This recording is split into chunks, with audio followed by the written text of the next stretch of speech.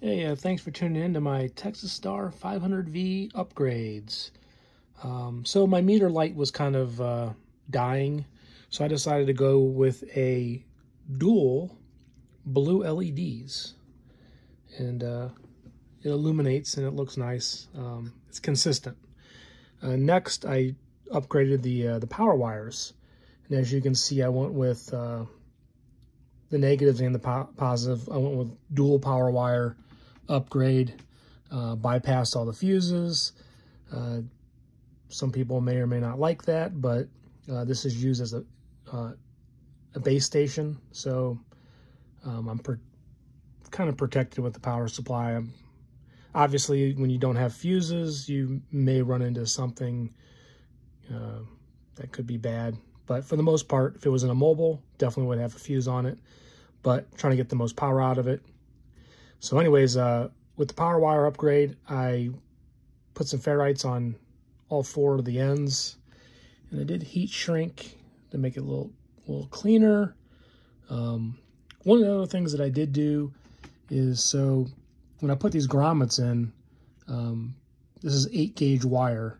I went with the 8 gauge grommet and I couldn't get four of them in there. So actually I'm running with uh, two of the 10 gauge, which actually worked just fine.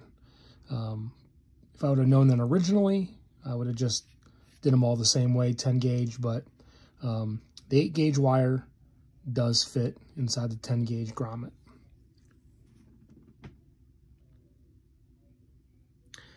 One of the other things you might notice is I've heat shrunk the ends. Did that on purpose. When you tighten down uh, the nuts on these, uh, like the retainers or whatever, I don't like how it digs into the wire. And so the heat shrink actually protects the wire so you can still tighten them down and the wires won't move around. Um, as you can see, I do have Toshibas in this. I've been cleaning up the flux, you know, that's from the original build. Uh, it's looking a little bit cleaner in there.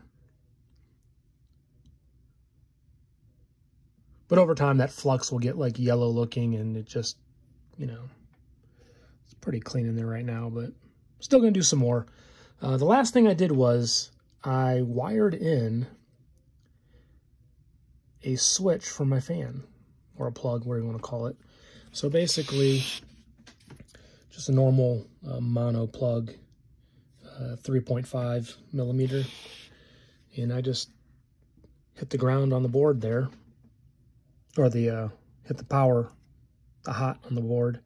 Um, the ground is actually comes through the frame of the uh, Texas Star and the uh,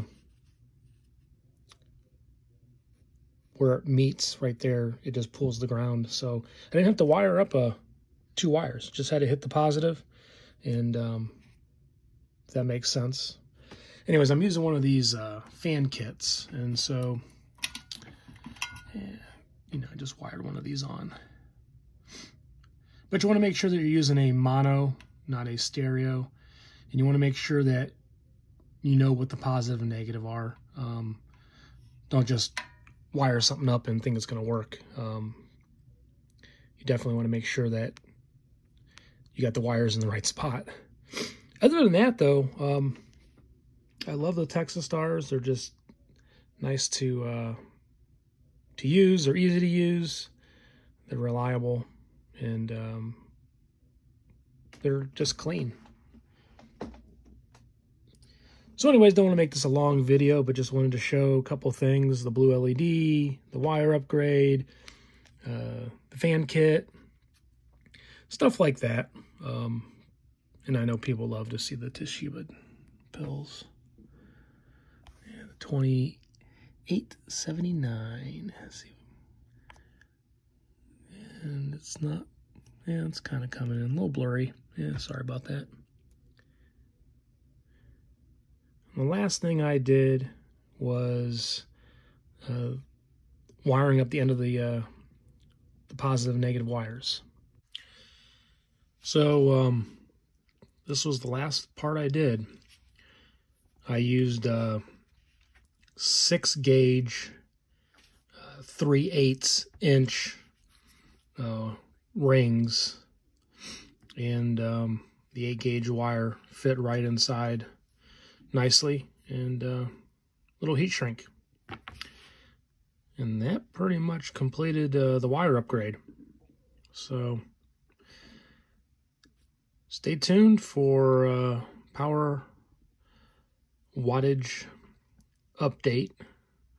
I was getting like 575 watts uh, before the wire upgrade, and we'll see what it does uh, shortly. Okay, so now we got it all hooked up. Running on the Stryker 955. We're doing 2 watts, swinging 80. Now before I did the wire upgrade, we were getting about 575 on the Dosy. So our right meter here, we're in the 1000 watt scale. And here we go, 1000 watt scale. Now let's see how much more we get. So we were doing 575 before the wire upgrade. And now let's see. Audio, one, two, one, two, one, two.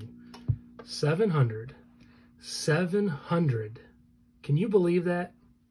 So yes, it is definitely worth upgrading the power wires. Hey, thanks for watching. Hope you enjoyed the video.